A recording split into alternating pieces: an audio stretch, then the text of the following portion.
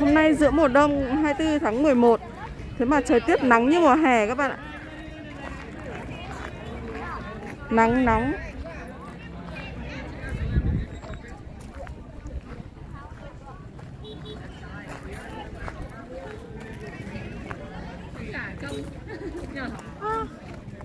Nhà ở dưới ờ, thung lũng à?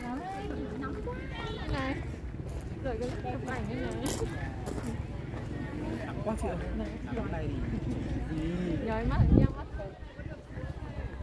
ờ, Ở dưới này đẹp nhỉ?